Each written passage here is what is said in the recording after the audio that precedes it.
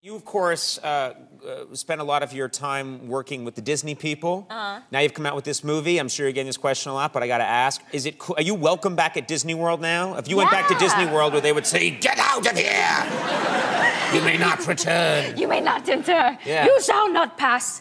Um, yeah, no, uh, Oh, they're, so they're they totally, did say that. No, no, they're.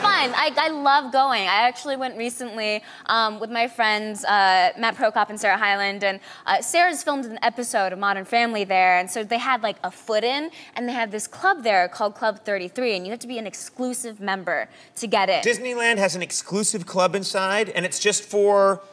I mean, like no one.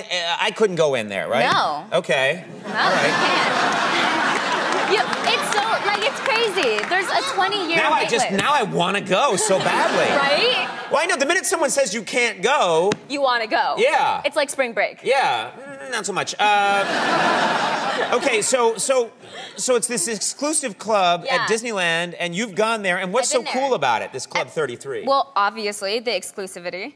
Yeah. Um, and it's like it's just really cool. It's like this lounge and like it's really classic and it's a beautiful restaurant.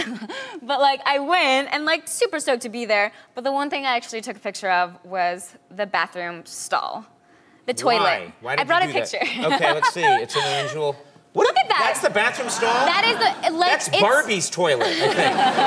right. Like that's pretty cool. yeah. So you took that. Do they know that you've taken a picture of their inner secret chamber? I don't think now they do. Yeah, they're dispatching. Now I'm banned. Yeah, no, now most robots are headed this way, you know? Destroy the one called Hudgens. Um, James Franco in the movie with you, he plays a very intense uh, character. Yeah. He's, uh, you know, he's a, he's a criminal. Uh, and he's got this amazing look in, Yeah, in he the does. movie. Uh, I didn't even looks- know that. it's crazy 'cause I didn't know that was him a Yeah. until it was explained to me that that is in fact James Franco. But that I is know. James Franco. It's funny because you look at that and you go, it, it looks funny. Like you guys laugh at it, but like his character is done in a way that is so believable. Like he's unbelievably incredible in the movie. And he was in that character all the time. He stuck. He committed to the cornrows and like the tan skin the whole time. Oh yeah, he had like all these grungy tattoos and like dirt all over his. Fi- I don't know if that was makeup or just dirt on his fingers all the time. But he like kept the cornrows in the entire duration They're of filming. painful. I uh, uh, uh, for a charity event, I did a show with cornrows and a spray tan. Really? And the cornrows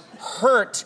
It's it's unbelievably painful. Well, I bet they're like just pulling at your hair. They pull at it and they pull it really tight, Yeah. and uh, and and I was screaming and crying. screaming? Yeah, that was like half an, before they even began. I was screaming. we have this is my look. This is me. Yeah. That was me looking oh my sad. gosh, it's a beautiful shot. Beautiful. Yeah, I, don't, I, I don't know why I was looking off into the sunset. You're, you think you're a Bond girl. Yes, yes, I do. I was my fantasy as a child, and now again. Uh.